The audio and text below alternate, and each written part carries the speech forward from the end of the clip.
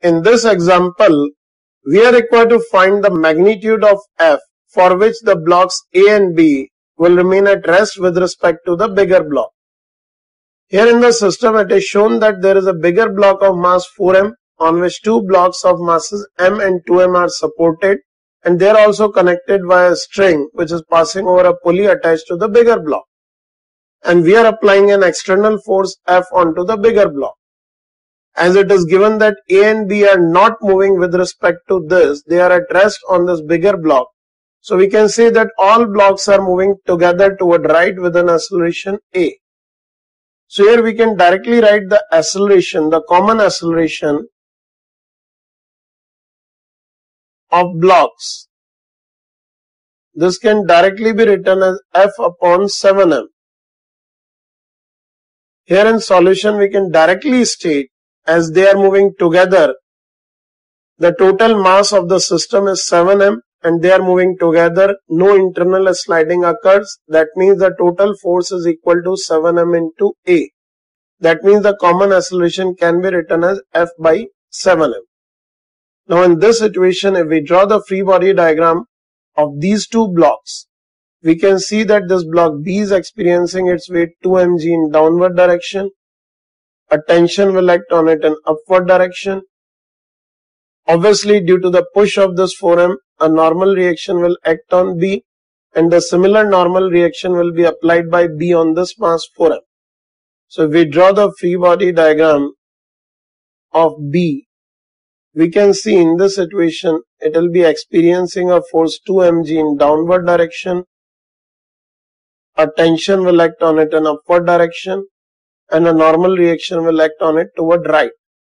But if we consider this free body diagram with respect to this 4m or in the reference frame of 4m, if we are going to observe this block B, then B will appear to be experiencing a pseudo force in backward direction because this 4m is an accelerated reference frame.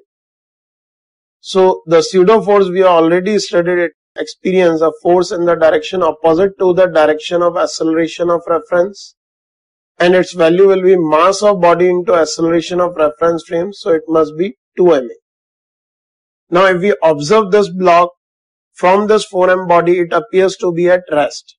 So if it is at rest, all these forces must be balanced. In this situation, we can write the equation for this block B as T is equals to 2 mg and we can write N is equals to 2 ma. Similarly, if we draw the free body diagram of this block A, we can see block A will be experiencing its weight mg in downward direction and see a normal reaction N1 would be acting on it due to the bigger block. So it will experience N1 in upward direction. A tension T will be applied on it due to this string. And if we observe this A with respect to this 4M, then it will also appear to be experiencing a pseudo force in backward direction that is MA.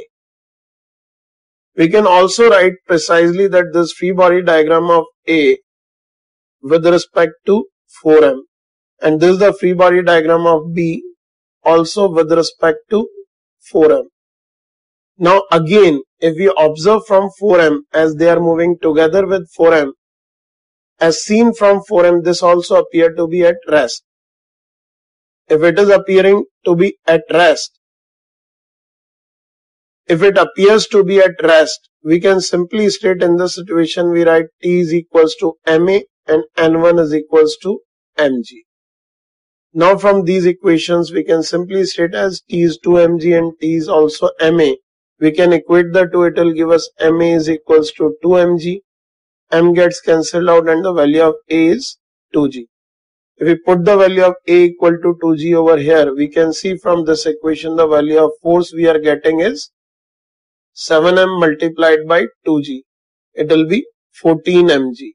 This will be the answer to our problem that 14 mg external force is required to be applied on 4m if we wish A and B not to move with respect to 4m.